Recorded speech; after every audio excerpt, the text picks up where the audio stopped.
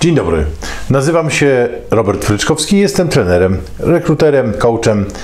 E, Wczoraj wykreśliłem sobie ten wykres i w zasadzie, kiedy politycy, którzy wszystko jedno jakiej opcji, zapowiadają, że jest po prostu super, że mamy super wszystko, że jest e, e, jakieś współczynniki dobre są, jakieś bardzo fajne mm, budżetowe wskaźniki rosną, że nigdy nie było tak dobrze, jak, jak jest teraz, że jest wspaniale.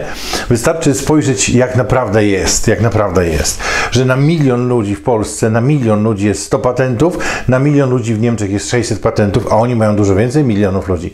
Dwa razy tyle mają milionów ludzi i na milion Amerykanów jest 900 patentów. Kurde balans. To jest fantastyczne.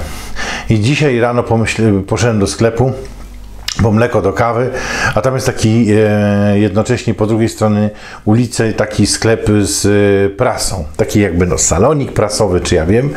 Mm, a w tym saloniku jest, jest prasa, tam kawa, tam w tym, w tym różne rzeczy tam są i tam zawsze siedzą nieruchomo albo pan w domu, chyba to właściciel, albo właścicielka, albo ich córka. I siedzą w takim ślepym marazmie, w takim właśnie ślepym, przygnębiającym marazmie.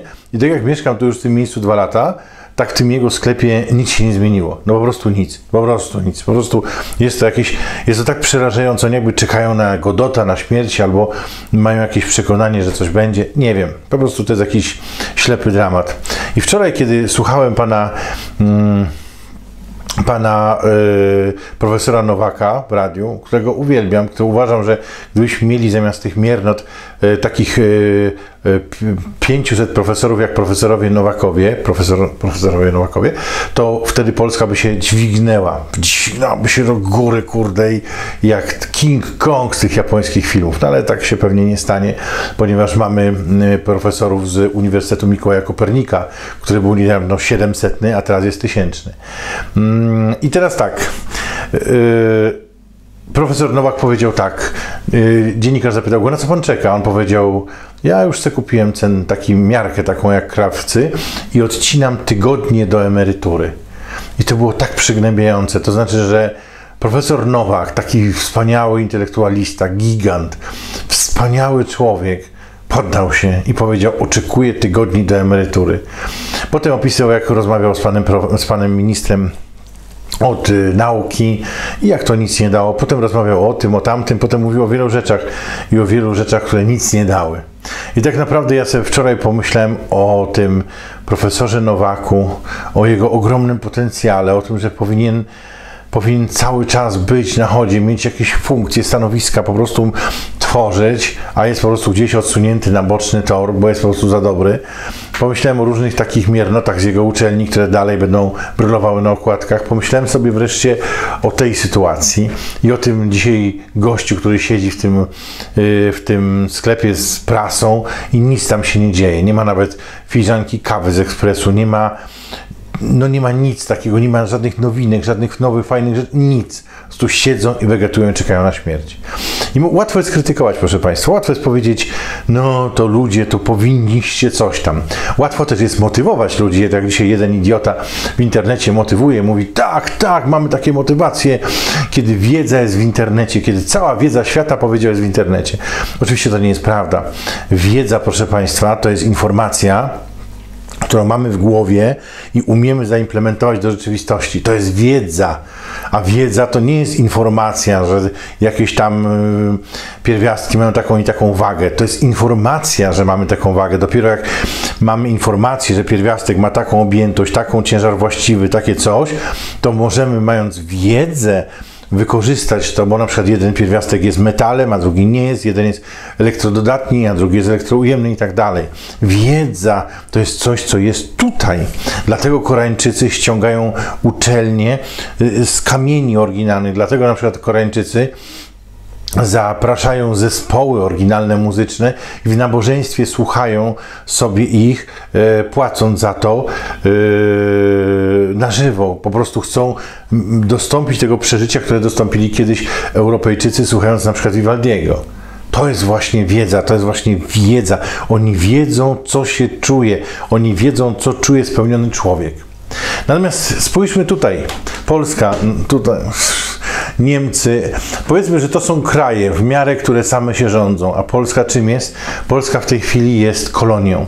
Polska jest w tej chwili kolonią i dużo się mówi o zagrożeniu ze strony Rosjan, ale ja myślę, że żadnego zagrożenia ze strony nie będzie Rosjan, ponieważ z tego prostego względu, że możemy sobie obrazić Polskę w tej chwili jako taki, och, jako taką salę.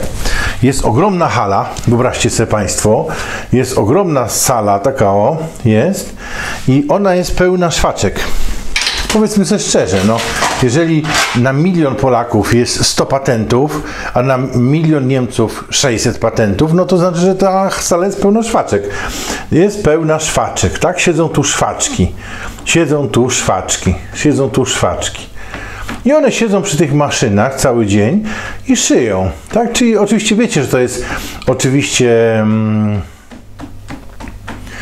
Oczywiście to jest pewnego rodzaju przenośnia, tak, że one szyją, bo to nie chodzi o to, że ktoś montuje w Fiacie e, prawe przednie koło na przykład. To nie chodzi o to, że ktoś montuje blachę do mikrofalówek, tą osłonę z tyłu przez 8 godzin dziennie przez 10 lat, czy pracuje w Biedronce. To nie chodzi o to. Chodzi o to, że tu jest zasób takiego bardzo nisko zbudżetowanego, e, takiej siły roboczej, siły roboczej. I tutaj pewnie Rosjanie przez ten przesmyk nie wejdą, chyba że będą chcieli zrobić na złość Amerykanom albo Niemcom, albo będą czegoś potrzebowali konkretnego, wtedy tak. Natomiast na razie pewnie nie wejdą, bo po co mieliby wchodzić? Wystarczy w Polsce wysadzić 50 słupów energetycznych wysokiego napięcia i 50 ujęć wodnych zdewastować i jest po marszu. E, więc generalnie wyobraźcie sobie taką wielką halę, na której siedzą szwaczki. Oczywiście siedzą te szwaczki, siedzą te szwaczki i one cały dzień coś tam sobie szyją dla nas, jakieś paseczki czy coś. I my cały czas puszczamy im z monitorów takie obrazy propagandowe, jak jest świetnie, jak jest fajnie, jak w Pucku tam jest winda, kiedyś windy nie było i, i w ogóle, że jest super, super, super, prawda? I że te szwaczki na każde dziecko dostają 500 plus w ogóle. Te, I w ogóle kiedyś dostaną, jak będą miały emeryturę, to jeszcze jakąś emeryturę i tak w ogóle. No, ale my mamy swoje zadania wobec szwaczek. No, jak mamy zadania wobec szwaczek, to musimy mądrze z nimi postępować. Na przykład szwaczki mówią, ale my chciałybyśmy mieć dzieci. Szwaczki na przykład w Anglii mają czwórkę dzieci. Szwaczka w Polsce ma jedno dziecko. Dlaczego? No, odpowiedzmy sobie sami. No i, a my mówimy, nie, no dzieci zostawiają smugę dwutlenku węgla, nie możesz. Albo się bierze celebrytkę i jak szwaczki mają przerwę w telewizji, to wychodzi celebrytka, która mówi Dzień dobry szwaczki, ja jestem celebrytka i jestem zupełnie inna i nie mam takiego wielkiego czerwonego łba, nie grilluję, nie mam brzucha, jestem z innego świata i powiem wam jak się powinno postępować. Miałam mieszkanie ale trochę za małe. I nie wiadomo skąd nagle, bo przecież mm, nie z nierządu, wzięło się w moim brzuchu dziecko. I wiecie co pomyślałam? Kurde, będę musiała wynieść te książki i z pokoju albo wynająć większe mieszkanie. Więc pojechałam i zabiłam swoje dziecko. A szwaczki mówią, ale ty jesteś nowoczesna. No jestem, jestem. Dziękuję, dziękuję. Jestem celebrytką. Tak? Czyli podaje się, a jak one mówią, no jak zabiłaś dziecko? No co ty? To no to się mówi, zobacz, zobacz, kotek na drzewie i szwaczki rzucają się do okna. I mówią, gdzie? Tam, ratujmy kotka, zrobimy zbiórkę na kotka i tak dalej, i tak dalej, i tak dalej. No i szwaczki nie wiedzą, że co chwila zajmuje ich jakaś z Turkmenistanu, czy jakaś inna szwaczka, ponieważ nigdy w życiu nie będzie tym szwaczkom więcej płacone. I teraz załóżmy Państwo, że nie jesteście taką szwaczką. Przy czym ja do szwaczek nic nie mam. Moja ciocia była szwaczką i powiem Państwu, że jest, jest, bo jest chorutka, biedna teraz, ale jest jedną z najwspanialszych osób, jakie znałem. Po prostu to nie chodzi o to, że szwaczką, no po prostu no, ludzie e, mają różne zawody. Niektórzy nawet są na przykład politykami. Po prostu dyskusja, czy lepiej być szwaczką, czy politykiem, tutaj jest naprawdę. Więc generalnie co się dzieje, jeżeli jesteście otoczeni szwaczkami? Otóż szwaczki i w ogóle ludzie mogą sobie powiedzieć coś takiego: My chcemy żyć jak niewolnicy bo mogą wybrać taki model życia, tak? Czyli przychodzą i mówią, ale my chcemy, nie chcemy się uczyć, chcemy dostać lewe dyplomy jakieś takie, tak? Od swoich gównianych uczelni. Po prostu chcemy mieć ten dyplom. Od swojej gównianej uczelni chcemy mieć dyplom, tak? Bo uczelnia co powinna dawać? Uczelnia powinna dawać nawyk kształcenia się, a uczelnia daje trochę informacji, copy-paste i już jest, wychodzisz magistrem. No więc dostają. Chcemy mieć tandetną, kpiącą z nas rozrywkę, żeby tylko nie myśleć, tak? Czyli są szwaczki, które w tym całym upodleniu odnajdują się, tak? Wypiją sobie wieczorem piwo, yy, popatrzą się w telewizor po raz 324 na kiepskich, albo na jakiś kabaret, który oglądały po raz tysięczny. Po prostu dwa razy do roku gdzieś się tam yy, pojadą sobie na jakiegoś grilla, to ta, wtedy ta celebrytka ich skrytykuje, że mają wielkie czerwone łby, brzuchy i grillują.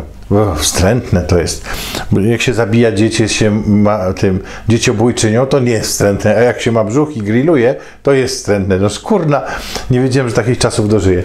I teraz te szwaczki se jakby godzą się z tym, czyli mówią, dobra, nie mam czasu, nie mam siły, jestem upodlona, upodlony, chcę być niewolnikiem, zostanę niewolnikiem, bo może być tylko gorzej, tak? Mam te kredyty we wszystkich tych chwilówkach chcę, być niewolnikiem. Ale teraz co się dzieje, mm, kiedy ktoś nie chce być niewolnikiem? Po pierwsze, postrzegany jest jako świr, a po drugie, mm, rozgląda się wokół ktoś, kto nie jest niewolnikiem i chce inspiracji i nie może znaleźć innego nieniewolnika. Na przykład ktoś chce zrobić firmę, która robi świetne meble i nie może znaleźć wspólnika do robienia tych mebli, ponieważ takich ludzi nie ma ponieważ ludzie nie chcą robić mebli, ponieważ są zmęczeni, ponieważ jest IKEA i ona robi już meble ich marzeń i oni nie chcą nic więcej. Były jakieś meble ze swarzędza, ale komu potrzebny jest swarzędz? Na wieki, na lata, gdzie moi rodzice kupili meble ze swarzędza i one wyglądają dalej jak nowe. Po co to komu? Teraz są meble z jakiegoś sklejki, coś, to trzyma się, to wszystko to są takie podwynajem, za trzy lata wynocha i, i na śmietnik. Więc on, po prostu ludzie chcą pewnych rzeczy i kiedy chcemy zrobić prawdziwą wartość, to nie odnajdujemy innych ludzi, którzy by tą wartość podźwignęli. I nawet tacy giganci jak Nowak, którzy mają absolutną, jakby to powiedzieć, legitymizację społeczną do totalnego szacunku. Dostają jakąś tam nagrodę, to fakt, po czym przychodzą do domu i mówią: Przegrałem, liczę tygodnie do swojej emerytury. Bo jeżeli Nowak mówi, liczę tygodnie do swojej emerytury, codziennie na pasku odcinam, to znaczy, że mówi, przegrałem. To znaczy, że otaczają was tacy ludzie, jak z tego sklepiku, e, który, e, który w tym sklepiku z gazetami, gdzie siedzi apatyczny na poziomie upośledzenia pan domu, albo pani domu, albo ich córka i wszyscy siedzą i się tak patrzą takim krzywym wzrokiem. I, i, I, tam się nic nie stanie, dopóki to wszystko nie upadnie, a może nie upaść nawet za 20 lat. No. I, I, to wszystko powoduje, że to jest taka, taka smuta, taka wielka hala beznadziejności. I teraz co my możemy zrobić? My możemy być takimi animatorami, tylko że pamiętajcie, że skoro nawet e, na swój sposób poddał się, poddał się, bo powiedzmy szczerze, jeżeli profesor mówi do Radia Wnet, odcinam codziennie kupony, odcinam co tydzień po kupony do emerytury, to znaczy, że mówi, poddaję się, nie mam tu już nic do roboty, chcę iść na emeryturę, chcę stąd odejść. Nie jestem tu ani uszanowany, ani wysłuchany, ani doceniony. Owszem, spotykają się 50 dziwaków w klubie Ronina i biją mu brawo, ale 50 tysięcy innych ludzi nawet nie wie, że profesor Nowak istnieje. Więc o czym my w ogóle mówimy? Szwaczki są upierdzielone kredytami, e, chwilówkami, tanim e, tanim piwem, alkoholizowanym i podłym życiem. Nie mają żadnej nadziei. I one jakimś Nowaku mają słyszeć, mają przeżywać jego znakomite felietony, mają czytać jego pasjonujące teksty. One nawet nie mają czasu nawet obejrzeć kiepski do końca, bo zasypiają w fotelu. I to jest pytanie właśnie, co zrobić, kiedy ktoś do tego systemu się nie nadaje? Czy jakby taką emigrację zastosować, czy coś innego zrobić? Nie wiem, nie mam tutaj porady. Uważam, że, że trzeba znaleźć sobie na świecie miejsce, którym zostaniecie Państwo docenieni, w którym po prostu, jeżeli jesteście naprawdę dobrym malarzem, to idźcie tam, gdzie dobre malarstwo jest sprzedawane. Jeżeli jesteście na przykład dobrym lekarzem, to idźcie tam, gdzie dobre, dobra wasza wiedza będzie doceniona. Nie szarpcie się jakichś po dyżurach, gdzieś tam, nie, nie wchodźcie w jakieś układy z Centrum Zdrowia Dziecka, gdzie, no zresztą znacie całą sprawę. E, Nie, nie ma sensu. Trzeba po prostu zwyczajnie jechać do struktur, które są bardziej normalne. Oczywiście te struktury e, mogą nas, jakby to powiedzieć, jakby osaczyć innymi rzeczami, na przykład LGBT, jakimiś marszami, czy innymi sprawami, bo świat nigdzie nie jest doskonały. Ale możecie wybrać sobie pole marazmu. Sąsiad coś naprawia i stuka. Ale nie zawsze stuka, bo czasem wypuszcza małego pieska i ten piesek dwie godziny ujada. To jest niewiarygodne. Dwie godziny ujada, po czym on mówi po dwóch godzinach Fifi, daj spokój, no, nie szczekaj. I piesek ujada kolejne dwie godziny. Jak to jest możliwe, że taki mały piesek ujada dwie godziny? Nie wiem. To jest po prostu jakaś ponadludzka energia w nim jest. No więc, ale jak piesek nie ujada, to sąsiad stuka młoteczkiem w jakiś stworzeń. Więc generalnie chce się wyrwać z, ma- z marazmu, naprawia lanosa. Więc generalnie tak to wygląda. Tak to w tej chwili wygląda. I tutaj jest to zarządzanie tymi ludźmi. Chcecie w ciąży? Nie, ciąża nie jest modna. Zobaczcie, jak ładnie zrobiła celebrytka. A jak już bardzo chcecie, no to coś tam, prawda? A jak coś tam, to coś tam, tak? Czyli zawsze będzie tak, żebyście by, nigdy nie byli wybitni, ale żebyście nie zrobili czegoś drastycznego. Czyli dokładnie jest tak, jak powiedziała mi pewna Irlandka, nazywała się Lavena. No, piękna dziewczyna, ruda i miała na szyi i dekolcie piegi. Była piękna, piegowata dziewczyna, taka e, mm, nawet nie była zepsuta za bardzo, bo poznaliśmy się w sytuacji, kiedy szef zlecił jej takie zadanie, mianowicie w, w czterech firmach, w czterech, u czterech chłopaków z firm szkoleniowych miała zmówić jakieś materiały szkoleniowe i powiedziała tak każdemu, że najlepszy zostanie w firmie na etacie. Więc chłopaki się sprzężyli, dali jej te materiały i ona miała wszystkich podziękować, nikogo nie zatrudnić, dać kolejnej firmie, która z tego by zrobiła już normalne szkolenie i wtedy mieliby szkolenie za jedną trzecią ceny. No ale to jest oszustwo. No i ona mnie pytała, co zrobić. Ja mówię, słuchaj, no nie rób se z gęby cholewy, ale przetłumaczcie to na angielski. No i ona mi tłumaczyła w tym banku, jak ustalają limity na kartach kredytowych. I ona powiedziała tak, że na kartach kredytowych widzą dwa rodzaje mm, klientów, mianowicie są e, turposze, czyli ci, co spłacają kredyty w ciągu 52 dni i frajerzy. Frajerzy to ci, co nie spłacają. I ja pytam, no jak ustalacie te limity? Powiedz, pochwal się. A ona powiedziała, tak, żeby skurwysyn nigdy go nie spłacił, ale żeby się nie targnął na linę, czyli żeby nie powiesił się. I to jest właśnie to. Czyli to jest tak ułożony kraj w tej chwili kolonialny, żeby nigdy się nie wzbogacił, bo się tam wyprowadzi 30 miliardów, 20 miliardów, 10. Nie ma możliwości, żeby kraj, który jest e, w ogonie innowacji, produkuje krochmal, drewniane łyżki i jakieś e, płytę pilśniową, no bo nic nie produkuje de facto, jeszcze okradany w takich dużych sortach 300 milionów, 200 milionów, gdzie miliardów, gdzie nikt tego w ogóle nie kontroluje i w ogóle nie ma wyciągania wniosków z tego. Kiedykolwiek się wzbogacił, więc ludzie po prostu nigdy się nie wzbogacą, ale też nie można dopuścić, żeby kiedykolwiek na przykład zaostrzyli kije albo przywiązali do kij noże i pewnej nocy ruszyli na miasto. Bo tak, tak, tak też nie może być. Nie, nie, nie, nie, nie. Oni mają składać te kuchenki. No. Tak to jest, tak mi smutno, tak mi źle, tak mi szaro, kiedy sobie o tym myślę, że są kraje, które są już skazane na śmierć, tylko że to jest śmierć bardzo powolna, długotrwała. Tak jak się umiera, kiedy jest się niewolnikiem na galerach. Kiedy codziennie przychodzi gość z pejczem i smaga po plecach i mówi hop, hop. Wiecie co Państwo, galery, te takie statki z tymi wiosłami. Co zrobić, żeby nie być galernikiem? Zbuntować się, ale zbuntować twórczo. Jak?